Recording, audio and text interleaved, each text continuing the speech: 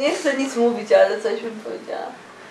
No ale koncepcji brak, a brak koncepcji jest dobrą koncepcją. Ale masz na myśli taki ogólniejszy sens? Y, Jak najbardziej. Kochani, w sumie to te miejsca grzejemy nie dla siebie. Nie leżymy sobie tak o, bo jesteśmy w pracy. Wiadomo, tak? Te miejsca grzejemy dla Was, bo zbliża się ten cudowny moment Naszego wielkiego otwarcia. Już w sobotę. o godzinie 12. Dla każdego coś dobrego. Będzie można przemierzyć wszystkie nasze kąty. Niemalże wszystkie. No, ale metrów na pewno starczy dla wszystkich. Wydarzeń będzie co niemiara. Wybaczcie, nie będę ich tutaj przytaczał, bo jest ich tak dużo, że nie pamiętam.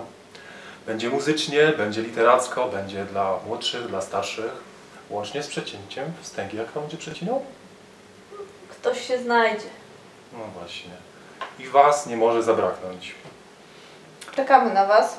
Otwórzcie z nami tą bibliotekę. Waszą bibliotekę. Sobota, godzina 12. Do zobaczenia. Do zobaczenia.